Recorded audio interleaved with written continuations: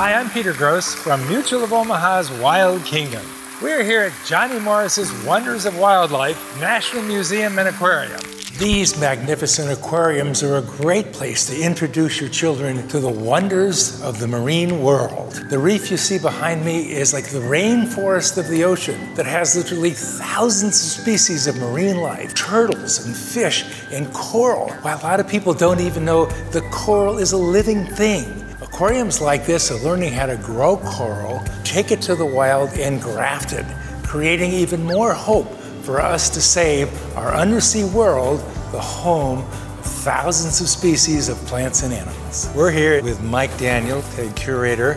Tell me about some of your, your programs working with the animals in the wild. We've had the opportunity this past year to work with 12 cold stunned loggerhead sea turtles. How long does it take to get them healthy enough to be released back to the wild? So we were fortunate to have our turtles here for about three months and our expert animal care team spent hours and hours making sure that their body condition was improving, that they were getting stronger before we could release them back into the wild to be vital parts of their uh, natural ecosystems. We have two female green sea turtles here in our open ocean exhibit, Miss Pam and Izzy, that were actually uh, boat strike turtles when they were very young.